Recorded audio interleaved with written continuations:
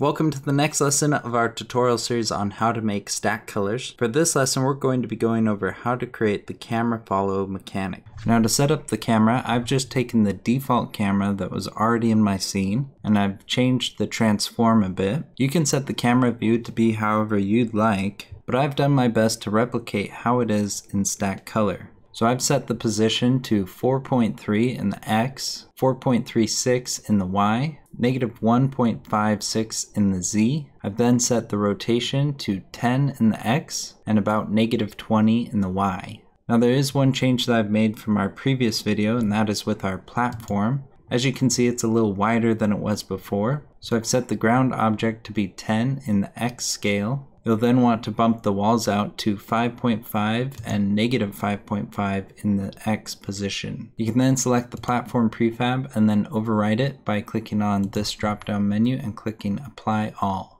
You'll then want to make sure that you stretch out the platform object in the Z scale so that you have some length to travel on.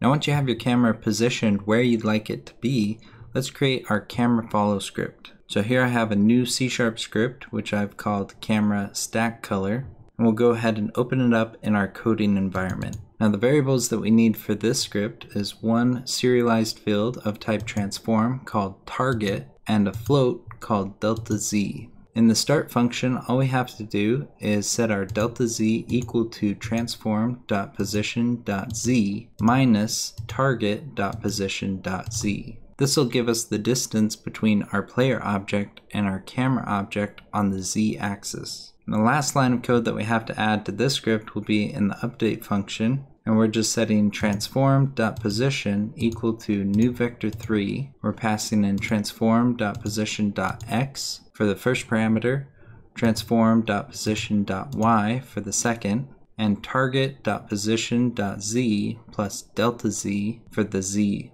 this will make it so that our camera doesn't move on the X or Y axis, but it follows our target object while maintaining the starting distance between the target and this object. So once you have all this code, let's save it and go back to Unity. And all we have to do is select our camera object and then click and drag our camera follow script onto this object. We then just need to make sure that we set our target variable and so we'll grab our player object from the hierarchy and drag it in there.